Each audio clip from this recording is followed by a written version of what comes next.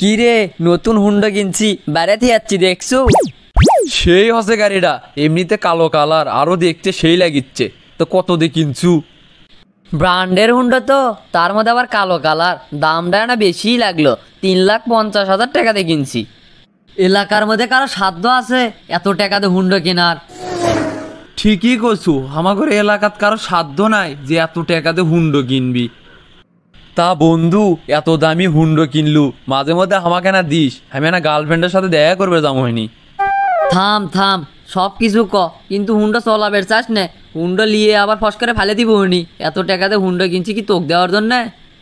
আর হ, তুই না এর আগে কলু যে হুন্ডো বলে কিনবু, গুগলের থেকে দেখালু। কোনটি সেই হুন্ডো? কতদিন হয়ে গেল, কিনলু না কমান। কথায় আছে না, যে কুত্তো ভোগে বেশি, ওই কুত্তো করলে কামড়ায় না। কথাটা করলে বাস্তব। কি করলু তুই? এক বালের হুন্ডো কিনছু তার গল্পে থাকা যাচ্ছে না। থাম তোর সে দামি হুন্ডা আমি কিনবো তোকে দেখামো। তোর আর হুন্ডা কিনা লাগিচ্ছে না মোল্লার দৌড় করলে মসজিদ পর্যন্ত। আর হ যদি তেল কেনার টেকা দিস তাহলে আমার হুন্ডের পিছে বসিস না হলে বসার দরকার নাই। হুন্ডো আমিও কিনবো আজকে আব্বার কাছে যায়া জিদ ধরমু হুন্ডো না কিনে দেওয়া পর্যন্ত থামবো না। তারপর দেখি করিম কেমনে আমাকে হুন্ডোর জন্য অপমান করে। আব্বা আমার বন্ধুরা সগলি হুন্ডো কিনছে। আমাকেও একটা হুন্ডো কিনে দাও। পরিবারের অবস্থা তো জানিসই বাবা। অভাব অনটনের মধ্যে দিন যায় আমার ঘরে নুন আনতে পান্তা ফুরোই এর মধ্যে তো কেমনে হুন্ডো কিনে দিব আমি? বললে আমি বুঝি না। দরকার পড়লে জমি বেচে হুন্ডো কিনে দাও। তাও আমাকে হুন্ডো কিনে দেওয়াই লাগবি। কে রে বাবা জমির কথা তুই কবার পেলু? ওর না জমি আছে। সেই জমির যে আবাদ হয় তাক দিয়ে আমার ঘরে সংসার চলে। সেই জমি বেচে যদি তোকে হুন্ডো কিনে দেই, তাহলে ভাত কুটি পামো। মানুষের বাপেরা, তার ছোলে করে কত বড় বড় শখ পূরণ করে। আর তুমি আমার কোন শখটা পূরণ করছ? সেই ছোটবেলায় তারা সাইকেল কিনে চাইছিলাম আজ পর্যন্ত সেই সাইকেল কিনে দাওনি। তার মানে তুমি আমার হুন্ডা কিনে দেবা না, তাই লয়? আচ্ছা লাও, আমার তোমার হুন্ডা কিনে দেওয়া লাগবে লয়। আমার হুন্ডা আমি নিজেই কিনবো মধ্যবিত্ত ঘরত জন্ম লিসি দিয়ে কি আমার কোনো শখ পূরণ হবে না। হুন্ডো তো আমি কিনবই এর জন্য যদি আমার চুরিও করা লাগে আমি তাই করব সাব্বির কমান মন খারাপ করে এটি বসে আছে। দেখি তো সাব্বিরে কি হচ্ছে কি রে সাব্বির তুই কমান এটি মন খারাপ করে বসে আছু? কে রে কি হচ্ছে তোর? না ভাই তেমন কিছু হয়নি। এমনিতেই বসে আছি এটি। আরে ক তোর সমস্যা কি? যদি কোনোভাবে সমাধান করে দিবের ভাই। ভাই আব্বাক থেকে একটা হুন্ডো কিনেছিলাম কিনে দিলই না।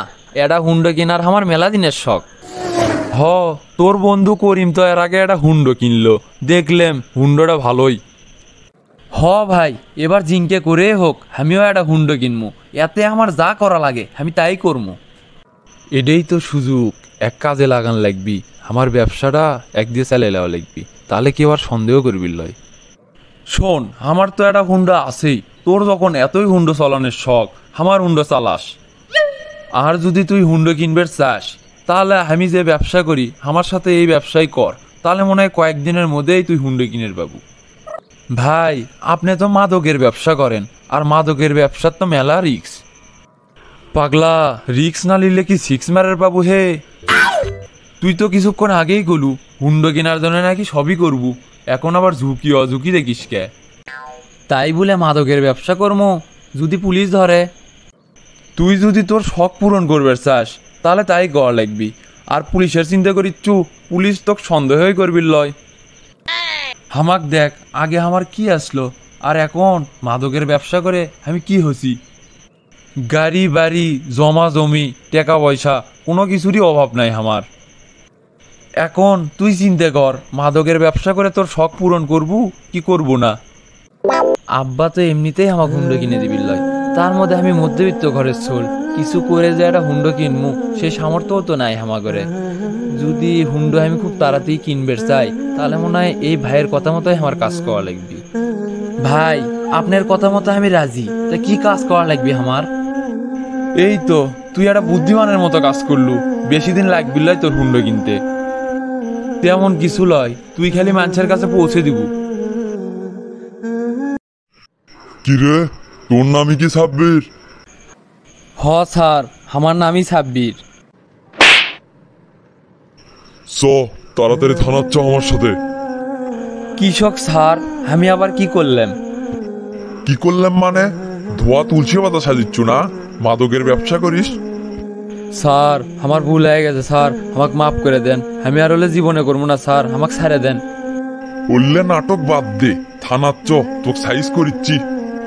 স্যার, আপনি বলে আমার বেটাকে ধরে লিয়াচ্ছেন কি করছে উই স্যার? কেরা আপনার বেটা? কার কথা করছেন? আজ সকালে যাক ধরে লিয়াচ্ছেন সাব্বির উই আমার বেটা। আপনার বেটা সারাদিন কি কাজ কাম করে? সেলে খবর কি আপনি রাখেন? স্যার উই তো লেখাপড়া করে। সকালে প্রাইভেটত যায় স্কুলত যায়, তারপরে বিকালে খেলবের যায়। কে, কি করছে উই স্যার? আপনার বেটা তো মাদকের ব্যবসা করে। এই মাদকের ব্যবসা করে কত যুবকের জীবন নষ্ট করে দিচ্ছে। আমি তো জানি না, স্যার উই এল্লা অন্যায় কাজ করে। কিন্তু আপনাকে আমি কথা দিচ্ছি, আমার বেটা আর জীবনেও উল্লে অন্যায়মূলক কোনো কাজ করবি না। ছোট মানুষ তো, স্যার, বুঝের পায়নি। অক আপনি মাফ করে দিয়ে ছাড়ে দেন, স্যার। এখন হল্লে কথা কয়ে কোনো লাভ হবি না। ওকে আমি কোটর চালান করে দিছি। যা হবার এখন কোটতেই হবি। আমাদের সমাজে এরকম অনেক মধ্যবিত্ত পরিবারের ছেলে নিজের শখ পূরণ করতে গিয়ে অন্যায় পথে চলে যায়। এবং তারা এরকম ছোট ছোট অন্যায় কাজ করতে করতে নিজের অজান্তেই বড় কোনো অপরাধ করে ফেলে। মনে রাখবেন, অসৎ পথের মাধ্যমে নিজের শখ পূরণ করা উচিত না। তাছাড়া অসৎ পথের মাধ্যমে জীবনে কোনোদিন সফলতা অর্জন করা যায় না।